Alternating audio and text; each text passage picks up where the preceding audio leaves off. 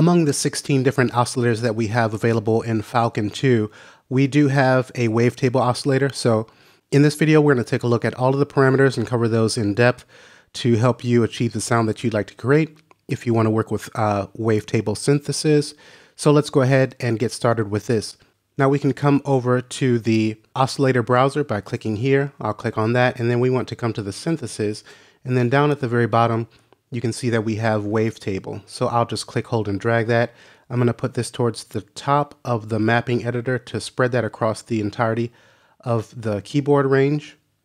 So we now have our wavetable oscillator loaded, and by default this is going to have a simple single cycle sine.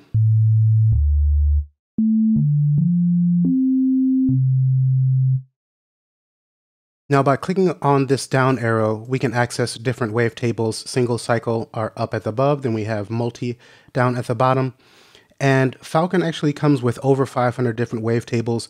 You can also lo load your own wavetables in here as well, uh, and also images. So let's actually take a quick look at that for a second. So I'll come to the Explorer on, you can use the Finder on the Mac. You can also browse to the location that you have your wavetables stored using the the browser here and go to your places. So I have sounds and samples. So anywhere that you have your wavetables loaded, you can do this within Falcon as well. But we're just going to use the Explorer here and I'm going to double click on the images folder.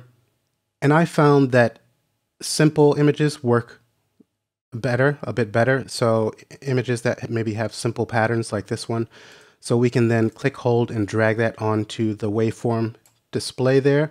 Let's minimize this window. And I'm going to assign the wave index. The wave index will allow us to move through the different waveforms within this image that we loaded. So in order to assign controls on your external controller, you just simply right click on the parameter and then choose MIDI learn. I'll then turn a knob on my controller and that's been added and you can see that I'm sweeping through this image that I loaded. So let's play that back.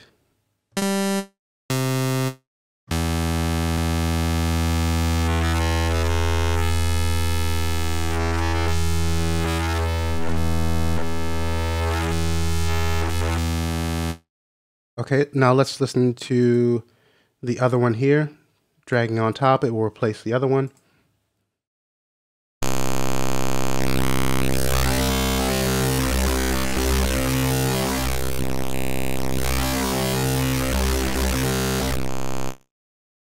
Okay, and of course you could always assign modulation to the wave index. You don't have to turn this manually, and we'll take a look at that in a few minutes. Now let's give a listen to a third-party wavetable or another one here, just to see how you can load this in pretty easily.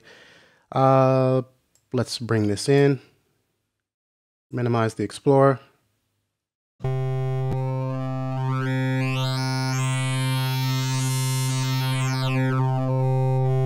Okay, so you can see it's very easy to work with images or other wavetables that you may have.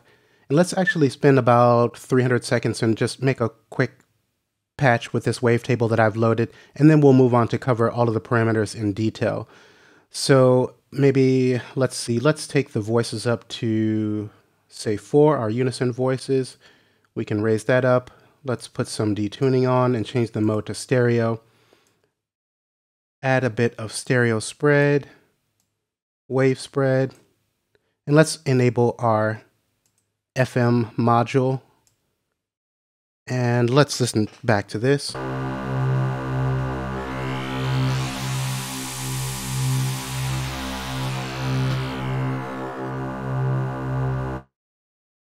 And let's go ahead and add some modulation to our wave index. So we can do that by right clicking and then coming to add modulation, I'll put this on the layer level and new LFO.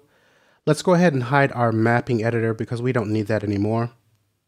And if my Falcon looks a little bit different than yours, just know that we can hide the various sections by using these icons up above. So I've hidden the program section and I've also hidden the key group section.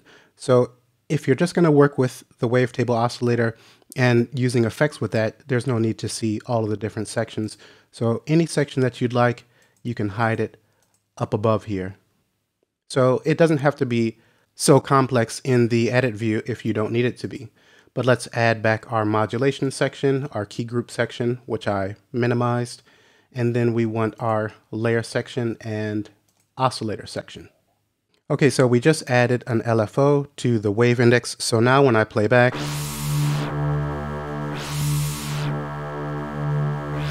let's take the frequency down a little bit and turn the bipolar off.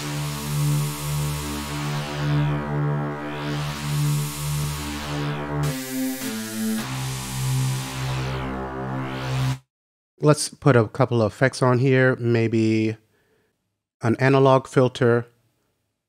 Let's take the cut up, cut off a little bit higher. Some drive, analog crunch.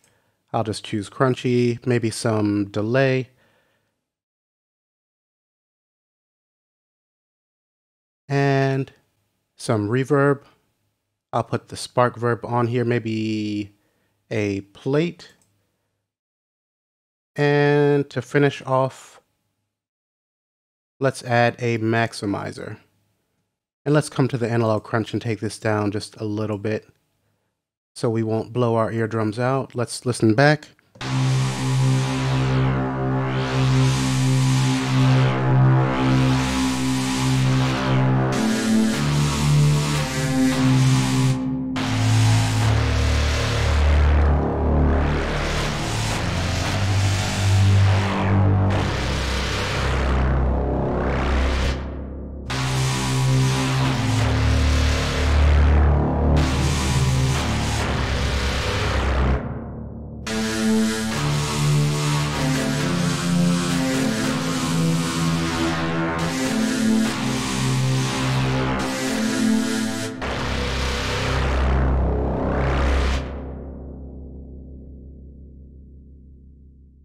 Okay, so pretty quickly we've got the beginnings of a little preset there. Let's go ahead and close out these effects for now.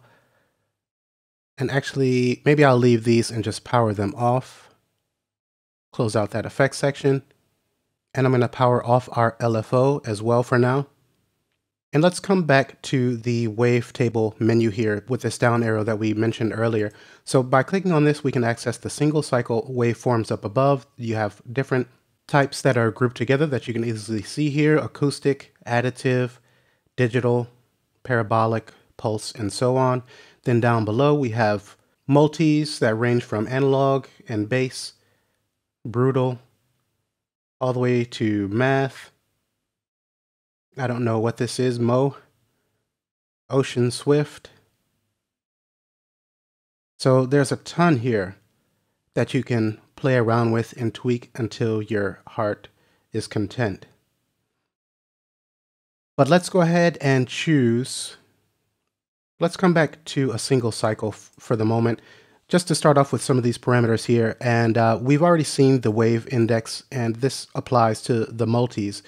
But with the single cycle, we can see the start phase here. This is going to adjust the start uh, of playback for our single cycle waveform. So as I move this to the right, we can see the playback of that waveform is going to be changed where that starts. And I'm going to hold Alt and click to take these settings in the unison back.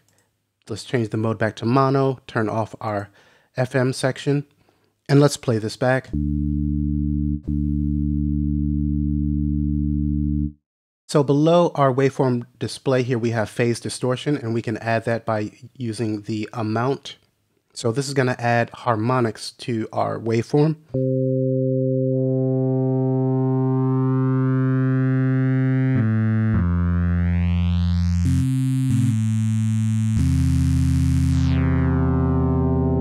And you have a bunch of different modes that you can choose from.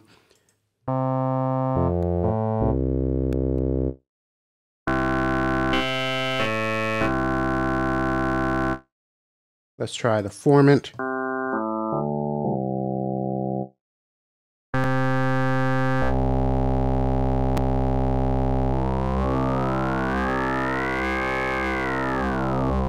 And the amount parameter here could be something that would be good to add modulation to. So let's actually take a look at that really quickly. We'll put that on the layer level, new LFO. Let's play that back. Change, take the...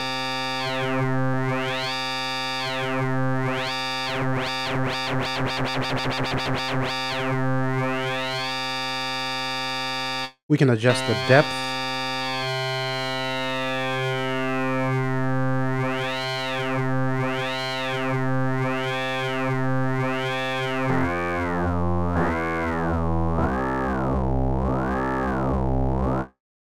Okay, I'm going to remove that LFO from the amount parameter.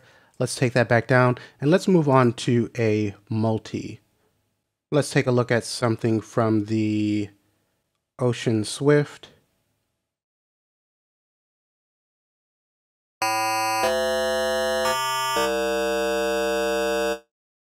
And let's also come to the LFO section and turn that LFO back on. That's going to modulate our wave index.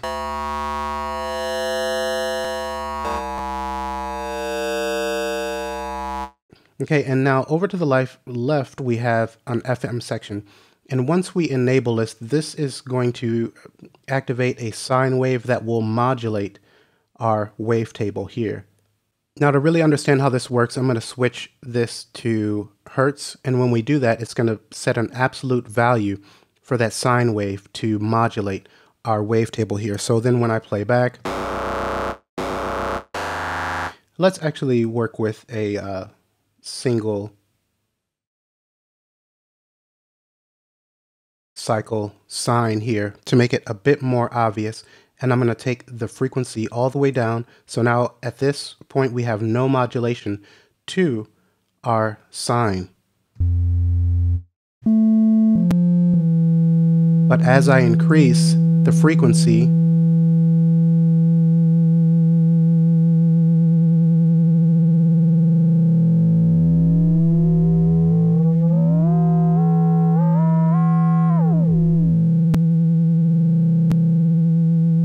you can hear how that's modulating our sine. And so like like I said, this is going to be absolute. So no matter what pitch or pad or key you press on your external controller, it's always going to modulate at that 7 hertz rate. Now when we deactivate this, we have these other modes that we can make use of here. So if we have harmonic, then it's going to the cycle is going to be based on the pitch that you're playing, and you're going to have a harmonic quality to your sound no matter what you're playing back. And for this, you can hear that's behaving a lot differently. And let's come back to a different wavetable.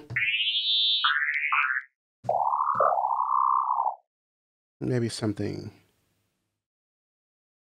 Okay, this one here.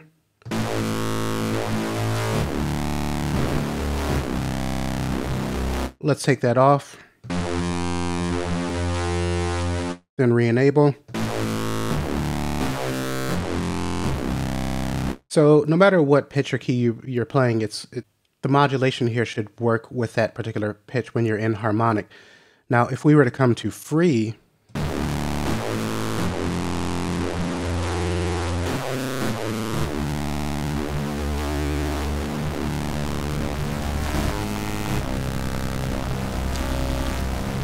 it's not always going to work. And you can see here that this is adjusting in semitones.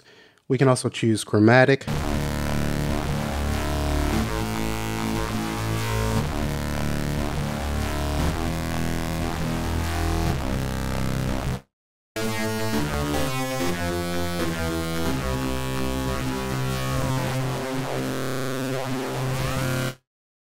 We've got octaves.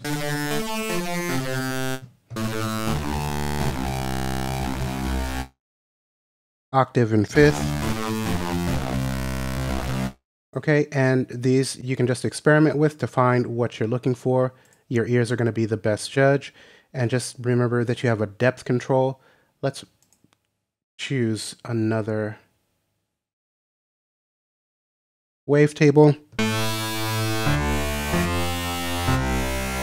So you can make use of the depth.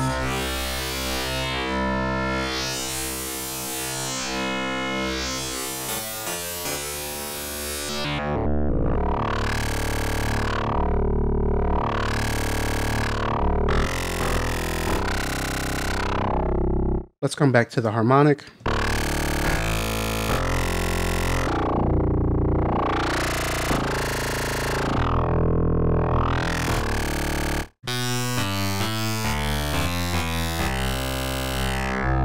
Now over to the right, we have unison, so we could add more voices, and we saw that really quickly in the very beginning. Let's take this up to six, and we have a mode, so by default this is going to be in mono, but if we change that to stereo, then the voices can be spread throughout the stereo field. So let's leave this on mono and listen to the six voices first.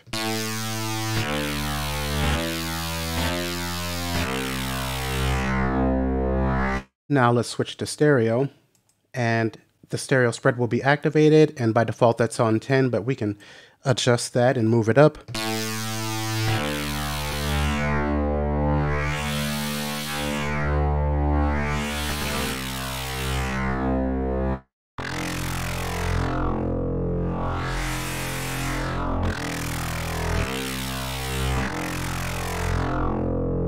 We have wave spread and this is going to spread out the individual wave cycles in our table across the stereo field.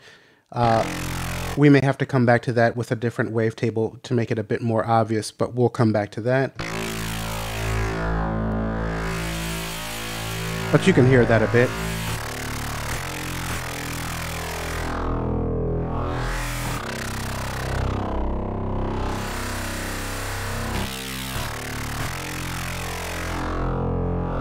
And there's several different modes for the uh, phase spread. You've got uniform, exponential, and random.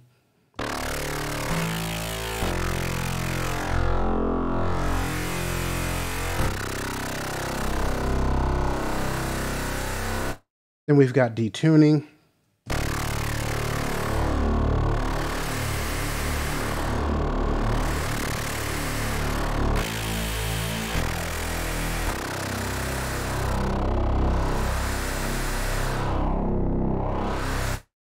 And a couple of different modes for the detuning. Let's try out the large.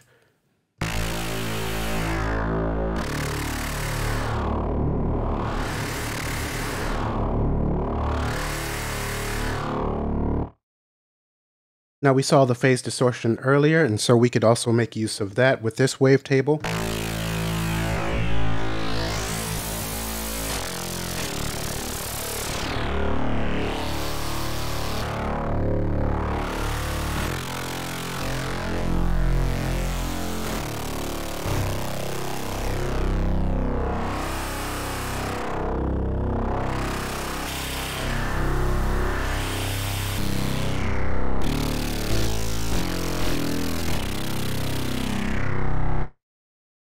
Now we also have a smoothing here and this, when you activate index, this is going to smooth the transition between the different waves in your table.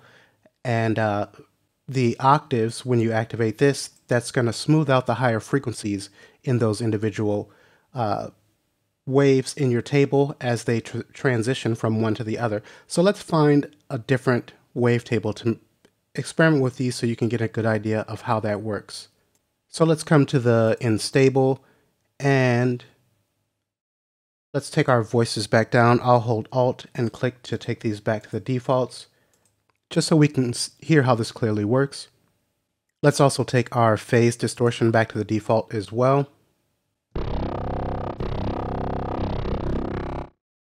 I'm going to power off the LFO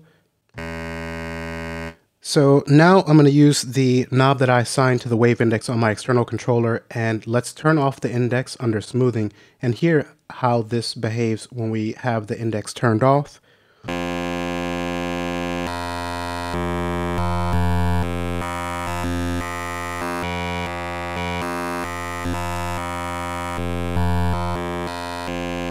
Okay, so you can hear how that's kind of snapping or jumping to the individual waveforms in that table. Now, once we reactivate the index in our playback,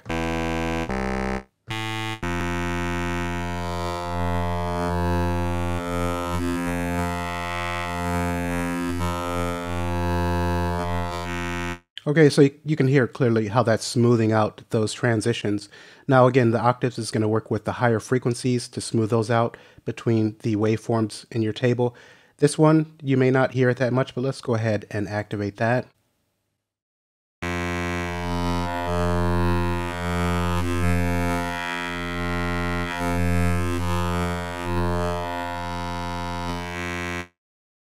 Okay, now that covers most of the, or all of the parameters within our wavetable module here, but just a couple other things that you may find useful when you're working with this oscillator is uh, we've seen that we can right click and we can add modulation.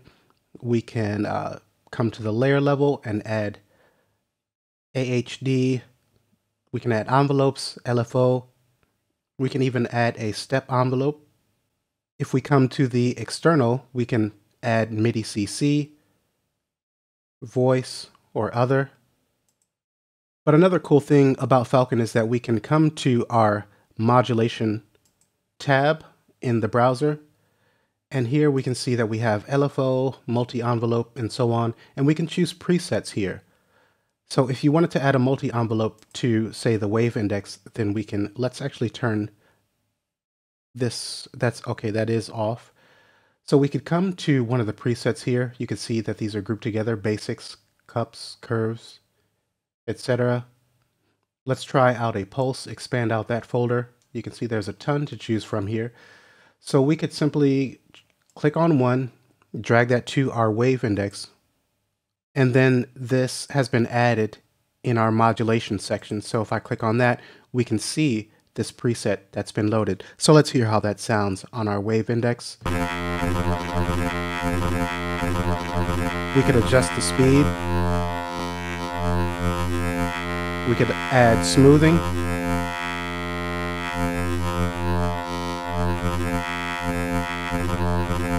Let's try out another one. Just simple drag and drop. And let's remove the first one that we brought in.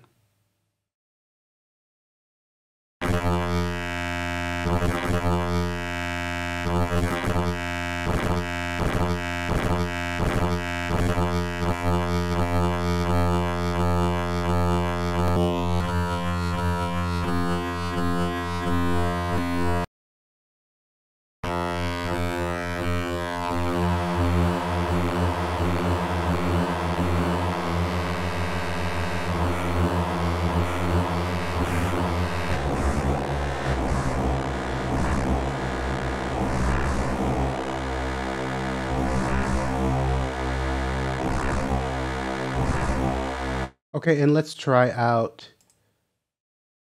an LFO preset. We've got randomizer. Let's give that a listen. Simple drag and drop.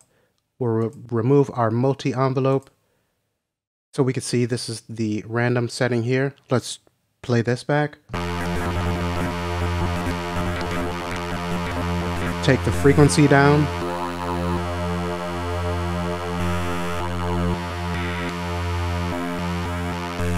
Smooth it.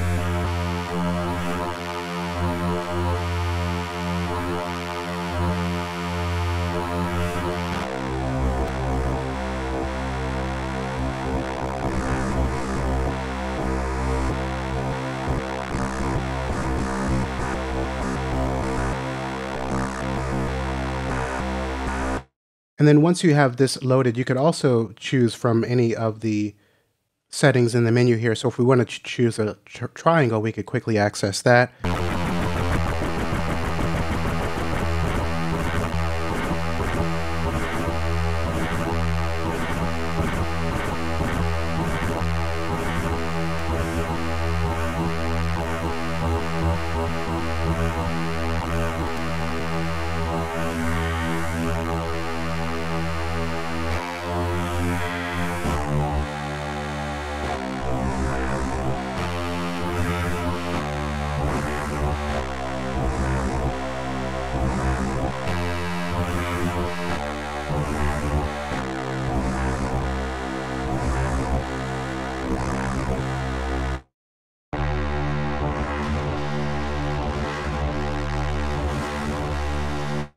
Let's bring some delay back on this.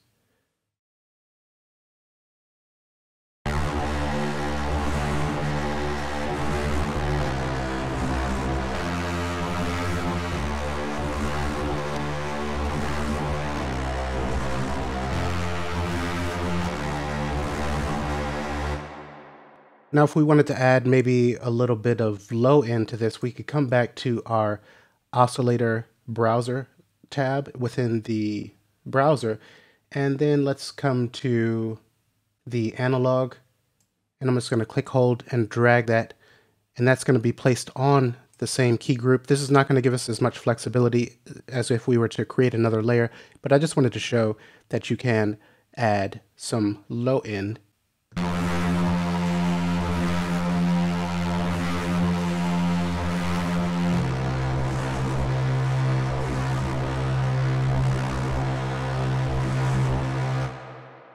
And let's actually remove that and add it to a separate layer so that we could take the pitch of that down. So I'm going to click on the tree view and then I'll actually just select the layer one, which we're working in and add a separate key group. So when we expand that out, we can see that we have a key group one, which has our wavetable oscillator. Then we have our key group two, which has, when you add it, it's going to place an analog oscillator on there by default. So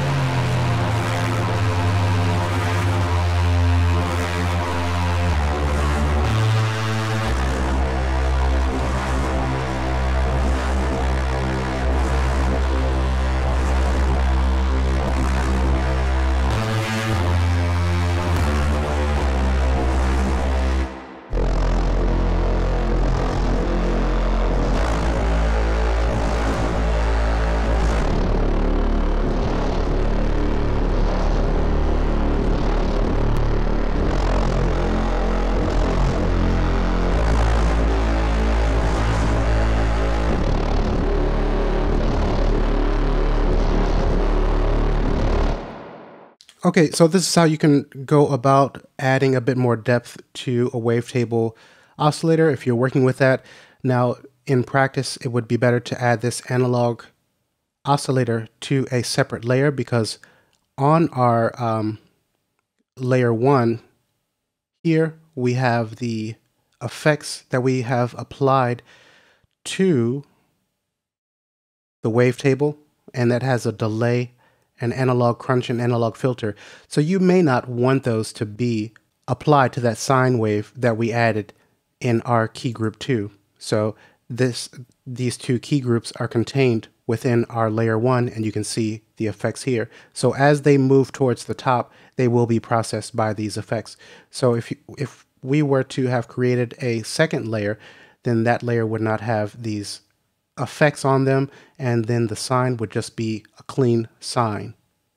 Now, the way that you could add a layer in the tree view, we could come to the uh, program and then choose add layer. And then now we can see we have a layer two that hasn't had have doesn't have anything added to it yet, but this probably would have been a better place to add our analog oscillator to. And as I said, it would then not have these effects applied to it that are being applied to our wavetable.